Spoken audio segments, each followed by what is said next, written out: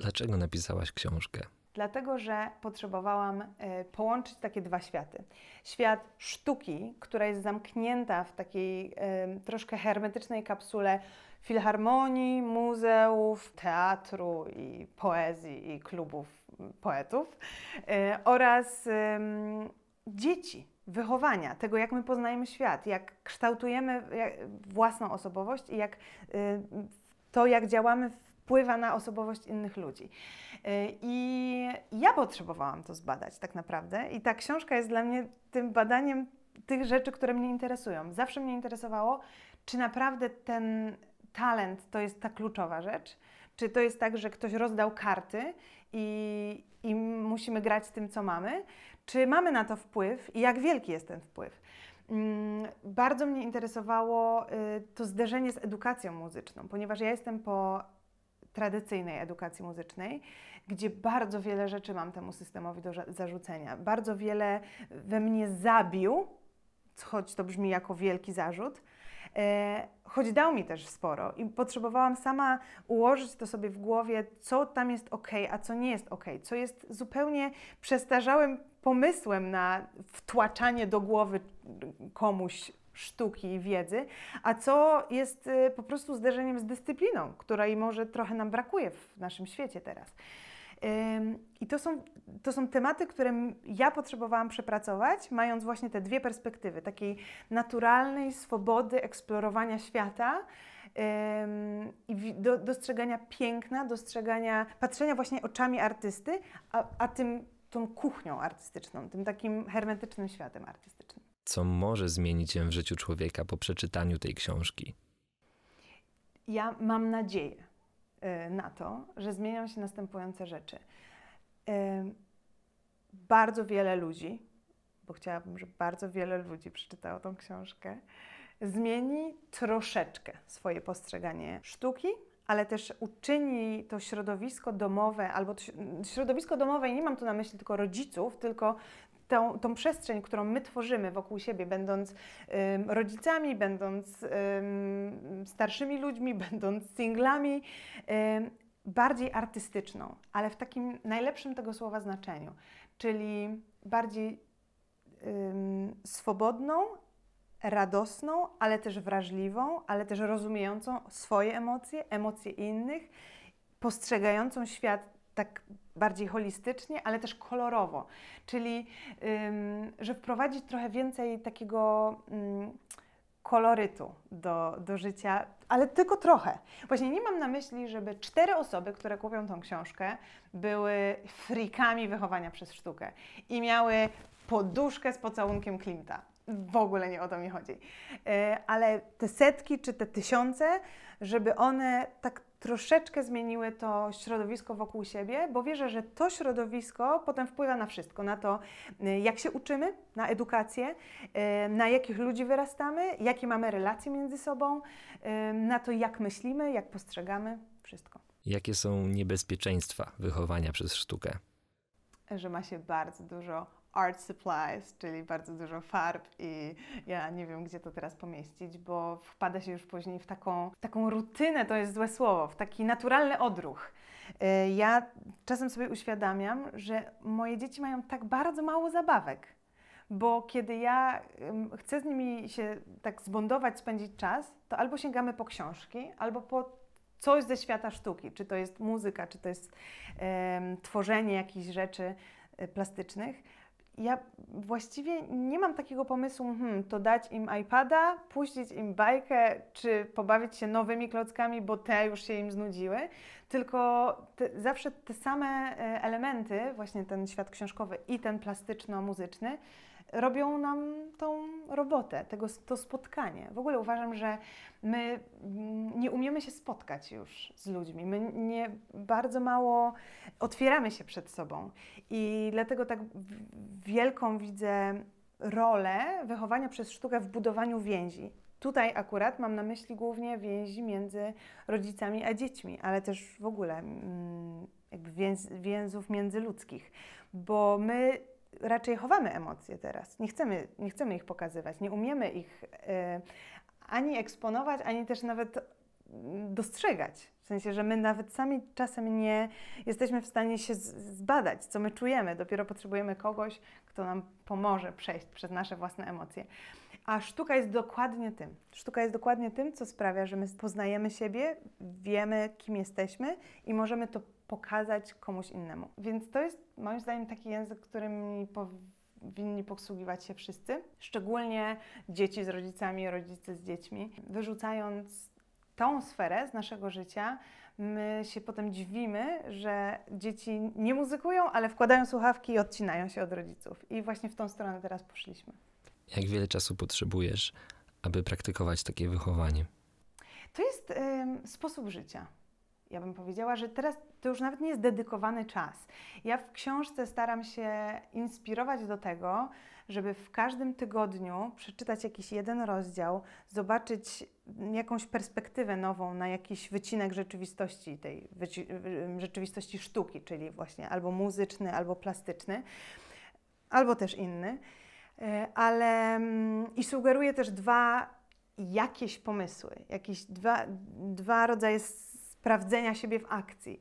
Yy, na przykład jakiś plastyczny albo jakąś, yy, jakieś muzyczne zadanie, jakieś słuchowe, dźwiękowe rzeczy. Więc myślę, że w takim, w takim układzie można by powiedzieć, że tygodniowo rekomenduję zacząć od yy, dwóch pomysłów, które zabiorą po pół godziny, czyli od godzinki tygodniowo. Ale w moim życiu na przykład to się wydarza już automatycznie. Ja jakby nie muszę nawet już tego planować. Tak naprawdę głównym zamysłem książki jest właśnie to, że po przejściu przez te 26 tygodni to wchodzi w taki naturalny tryb, że ja już nie muszę planować, ja już nie muszę te, tego um, przygotowywać jako wielkiego eventu, do którego muszę takie rekwizyty zakupić i takie rzeczy mieć i zebrać całą rodzinę, tylko to się tak w, naturalnie wplata w nasze życie. Jak nie używać tej książki?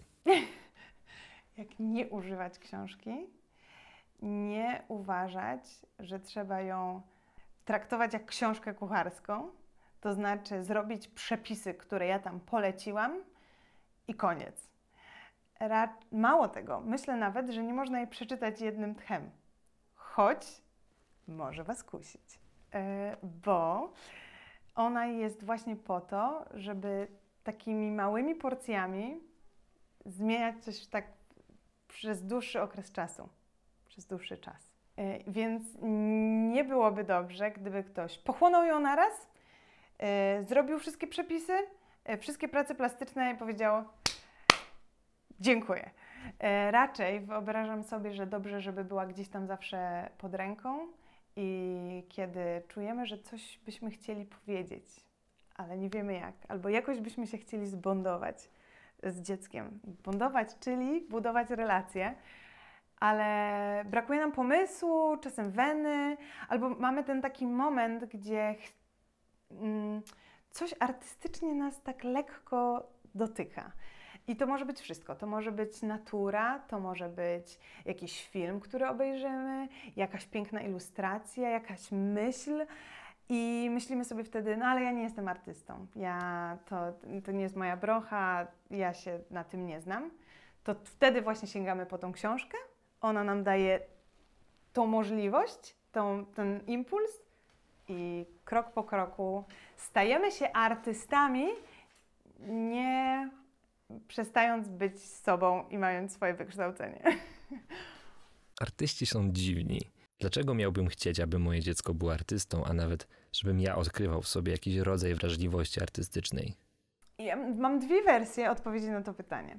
Po pierwsze, dlatego, że jest w nas, wierzę, wszystkich pierwiastek twórczy, który, jeżeli nie jest um, używany, to coś w nas cierpi. I teraz uwaga, uwaga, nie mam na myśli, że wszyscy mamy malować i grać na fortepianie przy świetle księżyca. Mam na myśli, że we wszystkim, co robimy, ta kreatywność, twórczość, to rozwiązywanie problemów w inny sposób niż taki sztampowy, e, krytyczne myślenie to są takie rzeczy, które potrzebujemy w całym naszym życiu i w bardzo wielu dziedzinach. I teraz można jakby też ugryźć sprawę od drugiej strony, że matematyka jest bardzo kreatywną dziedziną jakby fizyka czy biologia, to w ogóle nauka, to nie jest, to nie jest przyswojenie danych tylko i wyłącznie. To jest myślenie. I sztuka uczy myślenia w sposób bardzo mocny i niesamowicie kształtuje właśnie postrzeganie i myślenie, i przetwarzanie tych bodźców, analizowanie. Dlatego mielibyśmy wszyscy to robić, bo myślenie przydaje się po prostu każdemu. Ale oprócz myślenia, tam jest jeszcze właśnie ten element dziwności, czyli to, co mówisz, artyści są dziwni. Czasem są, zgadzam się, ale to, co mi się na przykład bardzo w artystach podoba, to to, że oni często dobrze się między sobą rozumieją, ponieważ mają wyćwiczoną empatię. I teraz ja bym powiedziała, że empatia to takie, tą wrażliwość, to taka nasza dusza, nie tylko myślenie, analizowanie, przyswajanie, y, ten taki sprawny mózg, ale właśnie ta taka nasza mm, metafizycznie ujmując dusza, ale sprowadzając na ziemię empatia, wrażliwość na, y, na mm, bodźce, ale też na drugiego człowieka, ona jest bardzo ważna, ona jest drugą naszą nogą. I możemy skakać całe życie na jednej nodze, owszem, ale dopiero wtedy czujemy się takim pełnym stworzeniem, kiedy stoimy e, pewnie na dwóch. I czasem e, artyści po prostu mają tą, tą drugą nogę dłuższą i dlatego wydają, wydają nam się dziwnie, ale w takim zupełnie normalnym ujęciu, gdzie szukamy balansu pomiędzy mm, tym rozumem a tą duszą, już bardzo e, metafizycznie to właśnie ujmując, to my mm, potrzebujemy tego do, do komunikacji. W sensie, tak, czasem mnie to śmieszy, że empatia jako zrozumienie drugiej osoby, czy my to wykorzystamy do manipulowania nią i ustawiania sobie tam ludzi w firmie, czy mm, wykorzystamy to do tego, do dobrych celów, to jest już inna sprawa, ale rozumienie drugiej osoby to jest jedna z najbardziej poszukiwanych wśród pracowników cech, tego i przyszłego świata, bo to jest coś, czego roboty jakby nigdy nie wyprą. A druga sprawa to jest właśnie myślenie out of the box, w sensie poza pudełkiem, poza algorytmem, poza schematem, czyli znowu druga rzecz, której nigdy ym, roboty, komputery nie podrobią. Yy, I te dwie rzeczy są dla mnie fundamentem tego, o czym my powinniśmy, jak powinniśmy kształtować następne pokolenie. Yy, I dlatego yy, sztuk, wychowanie przez sztukę nigdy, moim zdaniem, nie było tak bardzo pożądane jak teraz. Dlaczego sztuka wydaje się być taka nudna? Nudna? Nie wiem, mi się nie wydaje nudna sztuka.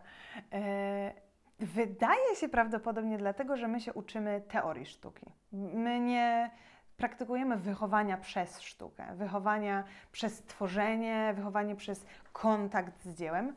My się uczymy teorii sztuki, teorii muzyki, teorii malarstwa, e, historii, literatury. Jeżeli ktoś myśli, że sztuka jest nudna, to znaczy, że nigdy nie została w nim rozbudzona ta taka prawdziwy ogląd tego, czym sztuka jest, po prostu. I ja to troszkę staram się, nie troszkę, ja się staram bardzo to odkręcić w tej książce. Właśnie to, czym jest sztuka. Jeżeli ona nam się kojarzy z jakimś muzeum, gdzie są jakieś antyczne wazy gliniane rozlatujące się, to prawdopodobnie dlatego, że nikt nam tego nie, dobrze nie sprzedał. Ale to nie jest dziwne, to nie jest nic now, nowego, co powiedziałam, bo tak samo może nie lubimy matematyki albo polskiego, albo totalnie nie możemy przekonać się do jakiegoś języka, albo cokolwiek innego. Yy, biologii. Uważamy, że biologia jest beznadziejna, dlatego że nikt nam jej nie zaszczepił. I myślę, że tutaj raczej dopatrywałabym się takiej winy, gdzie nie wiem, czy jest sens szukać winnych, ale jeśli, jeśli miałabym rozpracować jakoś ten mechanizm, dlaczego wydaje nam się sztuka nudna, to właśnie dlatego, że nikt nam jej nie pokazał w odpowiedni sposób. Dla kogo napisałaś tę książkę? Dla wszystkich. E, a dokładnie rzecz biorąc, dla kobiet i mężczyzn, dla starszych i młodszych myślałam o rodzicu poniekąd, ponieważ pomysły, które można realizować, są dostosowane też dla dzieci. Ale to, co oznacza to naprawdę, to to, że są proste, o jakby niskim progu wejścia. Czyli nie trzeba mieć y, mnóstwa akcesoriów, talentu, czy tam ym, praktyki i wyćwiczonej ręki albo wyćwiczonego słuchu. Po prostu można zacząć teraz. To znaczy de facto dla dzieci. Ym, I to sprawia, oraz jeszcze jeden element, o, o którym powiem, że książka jest dla wszystkich. Czyli i rodziców, i nierodziców. Dla wszystkich, którzy chcą rozwinąć sobie y, ten pierwiastek twórczy albo odkryć w sobie postawę twórczą, bo czują, że ona była tłumiona. Albo o, o tych ludziach też myślałam, są już artystami i są w tej, tej puli mój zawód artysta. Ja patrzę na świat jak artysta i robię w zawodzie artysta, ale to wcale nie znaczy, że umiem zachęcić do tego świata ludzi, którzy mnie otaczają. Czy są to dzieci, czy są to bliscy, czy to jest współmałżonek, czy to jest ktokolwiek. Więc o tych ludziach też myślałam. Nawet napisałam jeden rozdział o, procesu, o, o procesie odszkalniania, o zrzucania z siebie tego, tego mm, tej edukacji artystycznej, która na nas trochę ciąży i która często też zawiązuje nam trochę pęta.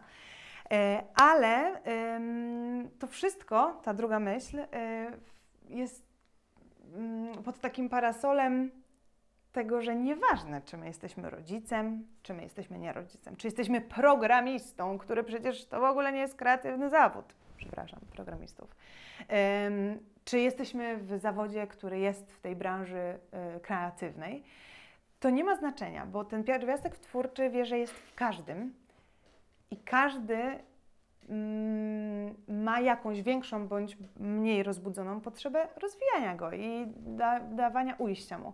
Więc y, z tego punktu widzenia rzeczywiście y, jest y, dla każdego ta książka, a to, czy ktoś jest rodzicem, czy nie, nie zmienia wiele w tym, kim jest. Chociaż zmienia wiele, ale z innego punktu widzenia. I tak, już, książka, sklep, kupowanie, zmienianie życia twórczo, twórcze nastrajanie siebie, odkrywanie swojej postawy twórczej i kreatywności, rozwijanie potencjału, który mamy wszyscy. Takie rzeczy.